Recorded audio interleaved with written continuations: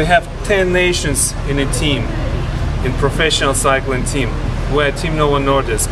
We're changing diabetes around the world.